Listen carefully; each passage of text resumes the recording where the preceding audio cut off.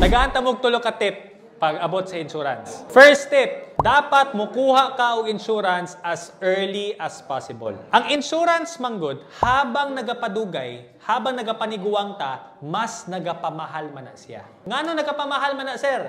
Kay mas duol naman ta sa kahayagan. Hapit naman ta kuhaon ni Lord.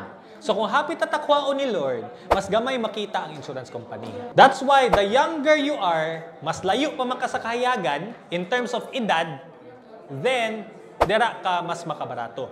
Tapos dili lang mas makabarato ha, mas barato siya at the same time mas dako ang imuhang makuha na policy inclusions. Ang second na tip nako sa inyo ha guys is that samtang wala pa kay ginabati, magkuha na kag insurance. Remember, ang insurance mas kinadaghan kag kwarta. Dili ka basta-basta makakuha ang insurance. Because it is not something that you buy, it is something that you apply. Meaning to say, kung i-apply na siya nimo, pwede ka ma-reject. Maski na naa kay kwarta ikabayad, dili nakadawaton. Para mas dako ang chance na makakuha kag insurance, dapat samtang wa pa kay gibati, mukuha na ka. Mao na kasagaran sa mga tao na anay gibati ba? Sila pa tong mga tao nangitag insurance. Why? Because they see the value of it. Ang mga tao na wala pa gibati, unya-unyaon na nila. Why? Because they don't see the value of it. Ikatulo, sa mga tao na wala pa mo yung insurance or kung naa na kay insurance, gusto ka mudungag, kung insurance, pwede man na siya. Sa mua, naami tulo ka buok na policies. True Life, PhilAm, Manulife. Now, sir, pwede ba isa ka kumpanya, lain-lain na policy? Pwede po.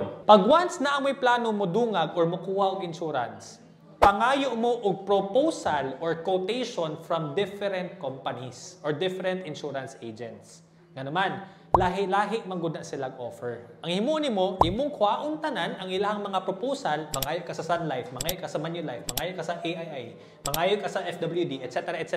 Then dito ka mo decide unsay nindot para sa imuha. Ang imuhang financial advisor, igo lang siya muhatag og advice kung unsay pwede sa imuha. At the end of the day, ikaw ang mo decide unsay dapat sa imuha.